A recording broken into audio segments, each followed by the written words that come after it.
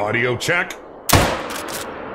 Today we're going to have a look at the new DLC pack that is going to be coming to the Hunter Call the Wild in seven short days. This pack is called the Ambusher Pack. It comes with the new electronic collar that we did have a look at last week, but I will show it to you again if you did miss that. It also comes with the Moradi Model 1894 lever action rifle. Now, we're going to have a look at all these being shot in today's video and the details. And you are gonna like how many shots it holds and the crazy class range that it is good for. Also comes with one more thing, and that is the Steinberg Takedown Recurve bow. And actually, this bow is even cooler than I expected it to be, and I will show you why in today's video. So there are three new cosmetic packs coming with this update, Medved Taiga, Vurhonga Savanna, and Parque Fernando, and we will look at some of those skins as well. Also awesome news is I will be getting early access, so come on out this weekend. We will be using this DLC pack live on stream and we will have videos with it. So that is very sweet and very exciting. So it is coming out on all three platforms next Tuesday, October the 10th. So let's start with the electronic collar. So this collar will pull up every callable animal on the map. You can only put one down on the map at a time. Once you purchase the DLC, it is zero dollars in the store. And this is going to be super cool for ambusher hunting, which, you know, that's the name of the pack. So that is very fitting. So I think it's going to be pretty amazing for sitting in a tree stand doing hunting like that. But the beauty is you can drop it where you want it to be, where you want to attract those animals. And then you can actually go off 400 meters and wait for them to come in and snipe them off if you wish, or go in there and get them, whatever it is you want to do. You can only put one down on the map at a time. Each person in multiplayer can have one, so you can have eight on a multiplayer server, but on your own map, you can only have the one. Only exception to this was uh, the team thought it might be kind of fun to put alligators on the list.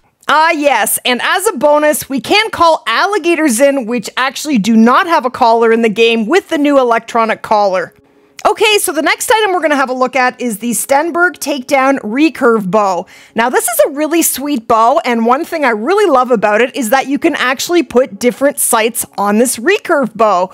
So a lot of people are going to really like that because not everyone likes to use the recurve bow. It definitely is a more difficult bow to use.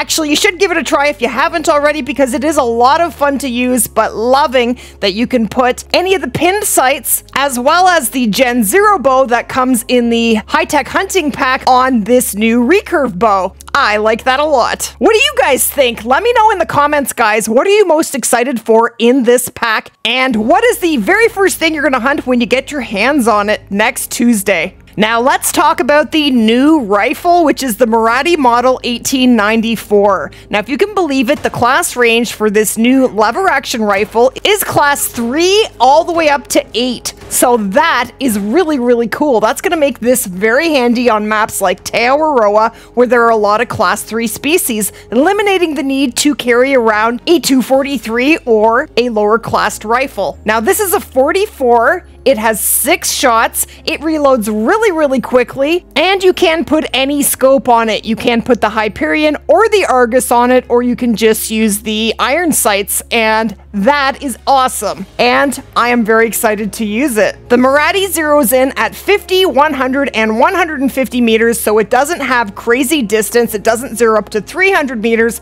but with a little bit of practice, you definitely can be taking longer range shots like Jaxie was doing on stream this morning. And and then, last but not least, we have the three cosmetic packs coming next Tuesday as well, including the Medved Taiga, Vurhonga Savanna, and Parque Fernando cosmetic packs. And they are beautiful, absolutely beautiful. And I love seeing them add more and more cosmetics. And remember, you can also use these cosmetics to change the color of your tents and your ground blinds. There is also an update coming next Tuesday. I don't have a lot of information on that yet, but the patch notes will be released probably on release day, and I definitely definitely will make a video and let you know what is going on with the update. So let me know what you're most excited for. Thank you guys so much for watching. If you are new to the channel, hit that subscribe button for more videos and we will definitely see you guys in the next one.